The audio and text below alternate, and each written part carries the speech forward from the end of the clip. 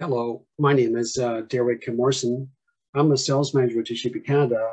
I'd like to demonstrate to you how we can connect you via USB cable uh, from my computer to the copier behind me. Uh, it could be this copier, which is a desktop model, or it could be one of Toshiba's four model 11 by 17 copiers. We can connect via USB cable. Um, and I'm going to show how we do that. I'm going to share a screen, we'll start right away. I just want to mention before you actually make the connection, you might want to think about how long that cable is going to be. Uh, you get a standard six foot cable, which may or may not be long enough, or you can spend up to 20 to $30 and get a 15 foot cable, which will give you all kinds of room. So what we're looking at now is the control panel of a Windows 10 computer. We're going to look at uh, devices and printers. and we have uh, several two Toshiba print drivers available. Uh, when your copier printer is connected as a USB printer, you have both the Toshiba Universal 2 print driver and the generic HBP print driver available. Here you can see I connected to the Universal 2 driver and if I'm connected as a USB port. If I was to print a test page, it would pop out in about eight seconds uh, from the, from the copier.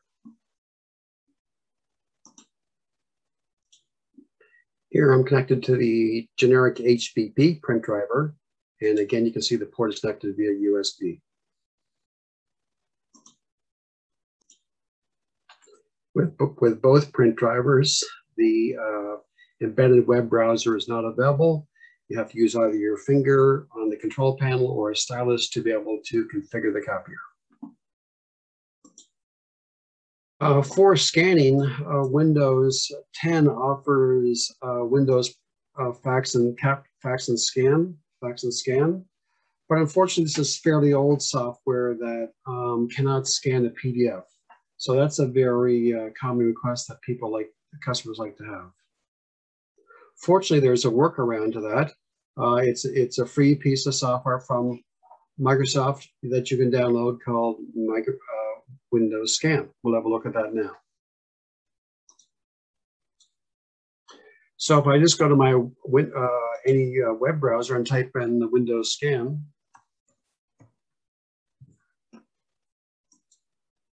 press enter, we'll click, quickly go to the, um, um, the Microsoft site and we Microsoft Store and get Windows Scan. So this is the official Windows uh, Microsoft site. And here it is right here. You can download Windows Scan for free. It's a fairly simple program to install, not very large. It's not hard to do.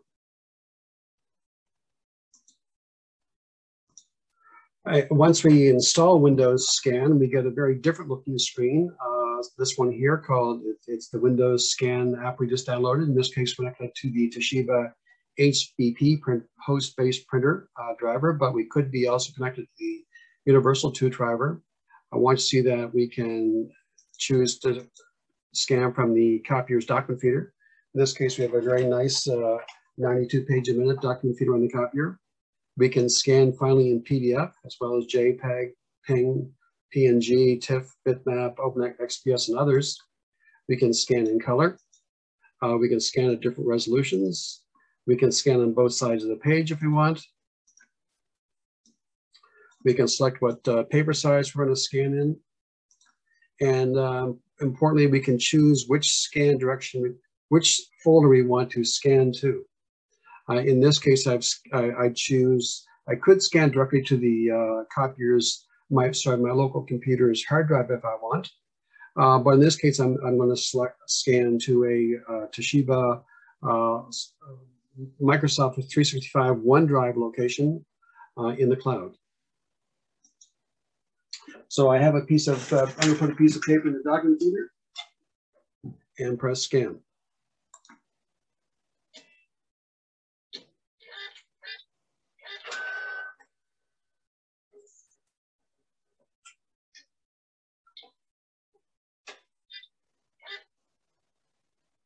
There it goes, and that document's uh, been sent. So here I am now looking at my Microsoft 365 account in the cloud. I'm going to go to OneDrive for Business.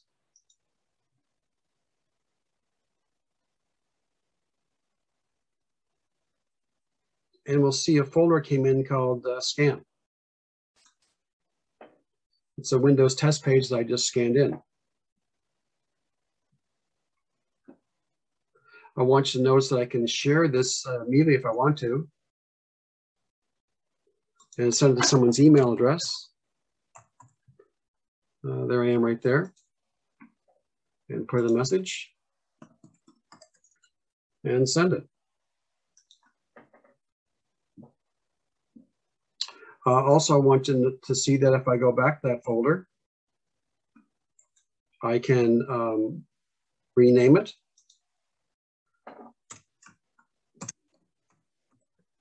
Okay.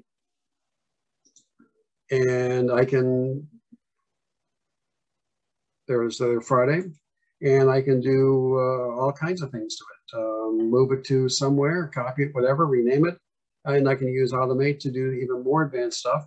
So we have all the full power of Microsoft 365 to use here uh, via a USB scan from the copier. Um, and finally, I want to go back to OneDrive.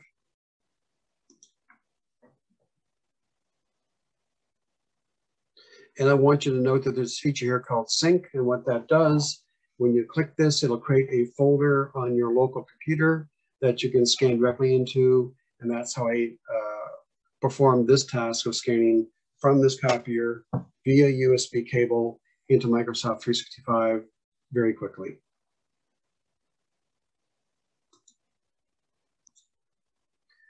I want to mention that, however, you could scan to uh, your local computer if you want. For example, I created an icon on my desktop called uh, Toshiba Scan, which will quickly take me to a bunch of scans I already created.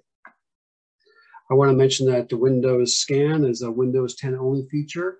Uh, if you have Windows 7 that's not available, you have, can only scan via USB drive to a port on the side of the copier. And also, if you have an Apple computer, uh, this uh, app is not available for Apple. It's a Windows only feature. So as you can see, this is my contact information. Uh, any questions, I'm happy to help. Um, but what we've seen is a demonstration how we can scan from uh, using a USB cable uh, to uh, any Toshiba desktop or floor model photocopier.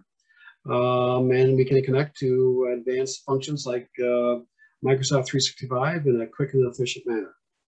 I hope you found this video informative and we'll see you again in the next video. Uh, thank you and bye.